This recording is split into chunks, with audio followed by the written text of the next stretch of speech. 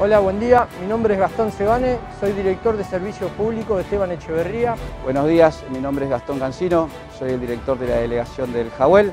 Hoy nos encontramos realizando un operativo conjunto con las distintas delegaciones municipales. Para hacer un operativo de levantar ramas, producto de la poda de este año. Es un operativo similar al que se hizo en Luis Guillón. Hoy contamos con aproximadamente 30 camiones y 10 máquinas.